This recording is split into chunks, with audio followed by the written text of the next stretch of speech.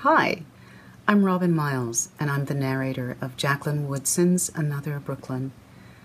And I wanted to say a few words about this title because it's such a satisfying book to read. It was a satisfying book to narrate.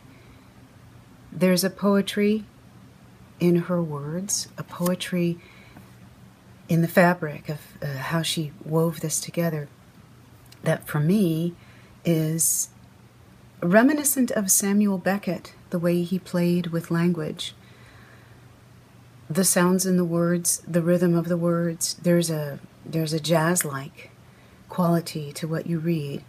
And as you listen to the book, because I do think you get more of that uh, quality from the audiobook, obviously, because there's a human voice there.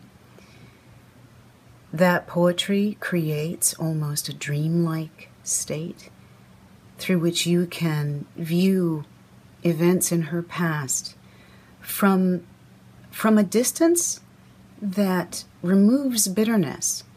Um, it removes a certain level of judgment, and it allows her past to resonate on a on a poetic level.